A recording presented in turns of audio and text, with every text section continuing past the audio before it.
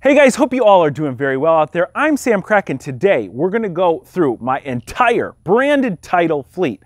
I own more cars than I ever have and they all have a flaw on the title. Whether it's like any of the cars behind me right now that have rebuilt titles because they were in accidents and I fixed them, or whether it's like the lemon that I just purchased.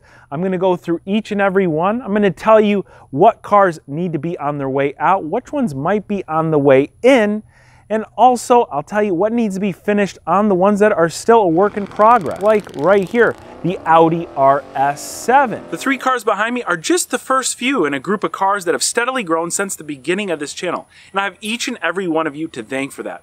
Without your continued support and the help from sponsors, I wouldn't be able to do what I love so much, and that's build these cars and share them with you. Without further ado, let's get started on the cars that are coming to the channel. Underneath this car cover is what will be featured next on the channel. This will be the biggest project to date. It is the supercar rebuild project. Now, I cannot give you a ton of detail. I will show you. If you look down here on the ground, the car is actually elevated off the ground on a jack stand. I've already began working on this car, and I'll give you a hint. It's a six-speed manual car with a rear-mounted engine. Past that, you're gonna have to figure it out until I unveil it. Comment down below. Let me know what you think is underneath this car cover. Can't wait to show you guys this car. It's gonna be totally epic. My best rebuild to date by far, and I totally stole it from the auction. It's an amazing, incredible deal. But once we get this, the supercar finish, once we get the Ford Focus RS finish, I have an idea and I think it would be a great project and I wanna hear your thoughts as well. I was recently taking a class on Skillshare.com about self-driving cars and their programming language. It was really intriguing. I started to think if I were able to grab a car from the salvage auction, some outside hardware, a little bit of help from a programming buddy of mine and probably some more of his friends, and build the world's cheapest self-driving car. I know it won't be easy, but I've already started to talk with, like I said, my friend, and I think that it's something that can be done. Now, I originally heard about Skillshare from Chris over at B is for Build watching one of his videos. When I signed up, I was instantly hooked. Skillshare is an online learning community with thousands of classes and subjects you're actually interested in. There's multiple classes that teach graphic design, photo editing, how to become an entrepreneur. There's classes that help you master YouTube and classes that can help you learn a new trade like windshield installation. Now, I reached out to Skillshare And I'm proud to say that they're sponsoring this video. And that's really big because education is a huge part of what I like to do with my audience. And I feel that learning directly from someone that's super passionate about the topic at hand is the best way to learn. If you check out my link in the description box below, and especially the younger group out there, I'd really like you to check this out. You're gonna get your two months of Skillshare absolutely free, but it's for the first 500 people only that sign up using the unique link down below. I gotta give a huge thanks to Skillshare for allowing me to extend that offer to you and sponsoring this video. Right now, we are in one of the next cars I'm going to tell you about, the 2011 Corvette Grand Sport, headed to the barn. This is one of the many barn cars. So let's get there, let's line them up and go through all of them.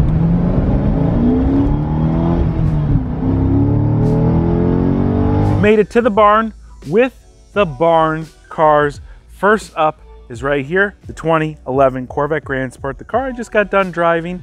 This is a prime example of the sort of car you want to find at a salvage auction. When I bought the car, it was completely totaled because a single dent in one of the front frame rails. Not a bent frame rail, not a kinked frame rail, a dent.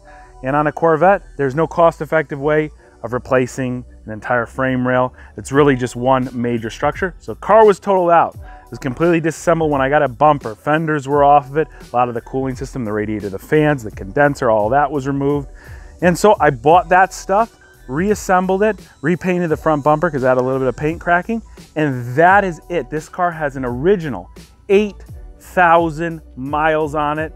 And as it sits, I'm in it probably about 40 to 50% less than retail. The rear end of it is perfect with the exception of the cow manure that I ran over in the pasture and that's all in the uh, mud flap here.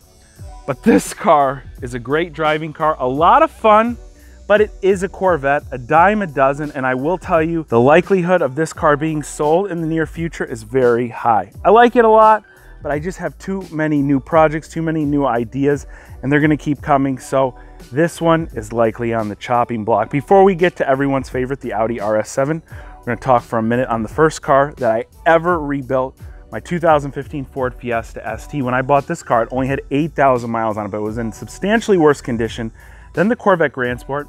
Honestly, I didn't know anything about rebuilding cars when I bought this car. For right around three grand, the entire front end was completely smashed to pieces. The frame rail's completely bent. When I started calling body shops and asking what they could do for me, they were laughing, going, you should never ever rebuild this car. It's gonna be so much money, it's gonna be impossible. But here it is today. And when it was all said and done, I'm in it a little bit over 8,000 bucks. This is a car that I love driving. I like driving this car, dare I say it, more than the Corvette. It is so much fun. You can drive it at the limit all the time on public roads. It doesn't get you into too much trouble. And I just wonder what it would be like with a big turbo or a hybrid turbo. One of the only reasons I'm holding off from saying it's definitely going to sell. This one is a tough one. I've got a Ford Focus RS we're gonna talk about after the Audi RS7 that is in the process of being rebuilt right now. And so I feel like the logical thing to do would be to sell this car. But I know a Fiesta feels nothing like a Ford Focus RS. So this is a tough one. It wouldn't raise a ton of capital if I sold it. Maybe it's worth about nine, 10 grand as it sits. It's only got right under 15,000 miles on it right now. Everything as far as condition wise goes on is pretty good. The fitment of the front end is about what I would consider 98%. I've shown this car close up many times. So if you're a follower of the channel, you kind of know what you're dealing with with this guy here. But I love this car. I don't ever want to get rid of it. It's got sentimental value since it's the first car I ever rebuilt, but it is what it is. It's easily replaceable and it might also be on the chopping block. Now the car that everybody loves, the Audi RS7. The number one email I get on the Audi RS7, can I buy it when you're done? The answer is absolutely not. Not right now, at least. I don't want to sell this car. I think this car is an amazing amount of fun. It's got these great looking HRE wheels on it, came from the auction like that. It also has an Armytrix exhaust, which we installed on it. You guys might have seen the video on that. The best part is that this car did not come stock. It's got a full stage two flash on it with a race fuel tune. It will make an excess of 800 horsepower. That's not a wheel figure, that's a crank figure. It's in the mid to low 700 wheel horsepower number. It is amazing. Here, let me take you inside really quick because it's just such a great all-around car. Now mind the mess, this car is just about being finished on the inside. As you can see, it's got the quilted seat option. It has every single creature comfort you could imagine, all sorts of lane assist, steering assists. It's got the uh, heads up display. It has the carbon fiber trim. We put in red seat belts. And to think it only cost me right around the price, get this, of a new Toyota Camry is absolutely insane. That's why I love buying cars like this from a salvage auction. By far, probably one of the best purchases uh, with the exception of the supercar build. They're right about at the same. The discounts were huge. Now, out of the three main barn cars, only one of them still has a salvage title, and that is the Audi RS7. The Corvette and the Fiesta ST both have what are known as rebuilt titles. These are cars that were once salvaged and now deemed roadworthy here in the state of Florida, and so they've issued a rebuilt title for them. What's it gonna take to get the RS7 rebuilt? Well, very simple. This car is about 90% complete.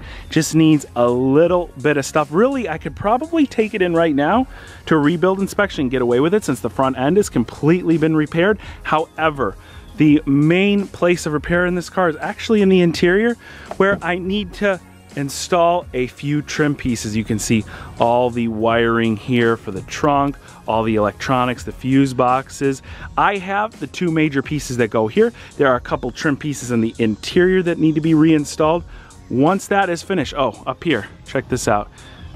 These pieces need to be put back We got this hanging uh, trunk closer button. The only other thing that needs to be done on the RS7 is some underbody liners. They didn't include them, so I went to the dealership, purchased all of them, as well as the fender liners. When we get the car in the air, we'll throw all those pieces on. Really, there's only a couple more hours of work to be done to this car before it's completely finished. The Corvette, the RS7, and the Fiesta ST, those are the three main barn cars. Behind me though, is the car that really lives in the barn. It's the pizza car, a car that I just did a video update on, so I will not be spending really any time talking about it right now. If you want to learn more about the pizza cars, don't know about them, you can check the link above.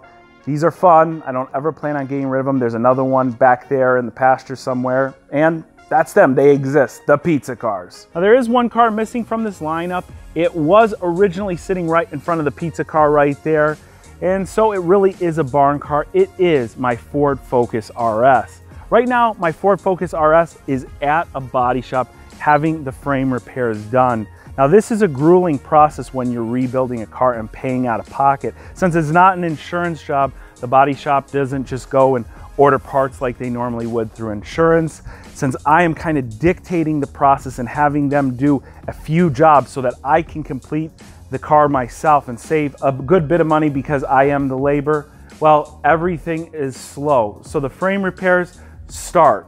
Then when they find out that there's a piece missing, and there's always a piece missing on a front end collision car, there are so many pieces and parts in the front end of a car, especially plastics and modern cars that get shattered. Well, what ends up happening is you end up finding you're missing one piece that really helps align the front end, then you're missing another piece and another piece. Right now, we've got it down to three Missing pieces, those are on their way to the body shop. I've ordered them using my account. Again, by ordering them myself, it helps me save money. And so hopefully I can say that car will be home in the next couple weeks. The last car in the group is also my latest addition to the branded title fleet. This one, I know what you're thinking. It's boring, it's a Lincoln SUV. Who cares about this car? But I care very much about this car because it taught me a lot. This is a lemon. It is literally a manufacturer buyback 2017 Lincoln MKC. I bought it with only 800 miles on the odometer. 800 miles for a lemon. This car is a high trim model. The only thing it really doesn't have is the uh, optional engine upgrade and all-wheel drive. It has pretty much every single feature on it. it has all the cameras in the front, lane keep assist, all the safety stuff. This thing is an amazing car. Retails for like 45, 46,000 and I paid half that because it was bought back by the manufacturer at only 800 miles. In my opinion, this car didn't have enough time to be deemed a lemon, but some states, like the state of California where this car came from, are a little bit more liberal than others when it comes to these laws. And well, they allowed a buyback at 800 miles. This is the real utility car. Drive this on long trips drive this around town, throw everything in it. I love this thing. This car will fundamentally change the way that I shop at car dealerships from now on. I did a whole entire video on buying this car. You can check it out right here. And this dealership that I bought the car from, it was a Ford branded dealership. They had dozens, if not over a hundred lemon vehicles in stock.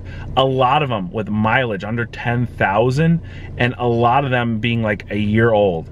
This would be the only way I'd buy a new car. Of course, after check, checking the history, checking all the information. And by law, these dealerships not only provide you extra warranty on these cars, they also provide you all the histories as to why it was bought back. This car specifically was bought back because, well, the previous owner said that it shut off on them. And this car shuts off on me too. It's because it has auto start stop, a feature coming on pretty much every single modern car.